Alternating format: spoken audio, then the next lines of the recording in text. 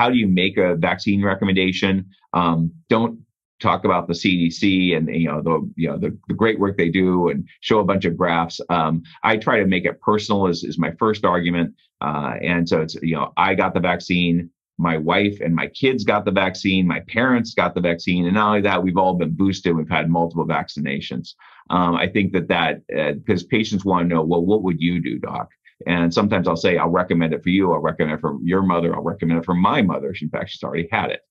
Um, reminding folks that it's an ounce of prevention is worth a pound of cure. I wouldn't use that language because people don't understand analogies uh, so well it seems uh, anymore but uh, but i would say that the simple uh, act of getting the vaccine and the minimal side effects you might experience um, are certainly better than going into the icu uh, for 10 days and possibly emerging with chronic kidney damage that you know will put you on dialysis.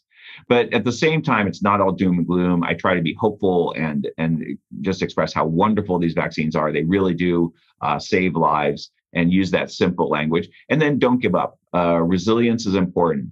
Um, you may fail and and if it's a new patient sometimes i don't establish that great connection on the first time and they're really there because the ankle pain they have. And so i'm gonna if you don't focus on that you won't get by on it on anything else so it may take like two or three visits or sometimes two or three years. But if you just keep offering it and recommending, gosh, it really would be a good idea. I think it would really benefit you. And then eventually it's like, sure, yeah, I'll do it. Because they're for most folks, they don't have a strong individual reason. They can't point to reasons one, two, and three why they don't want the vaccine. It's just they have just a general feeling against it. And that can erode over time. And you could be the one who helps erode that, gets the vaccine on board, and you're going to have a, a healthier patient.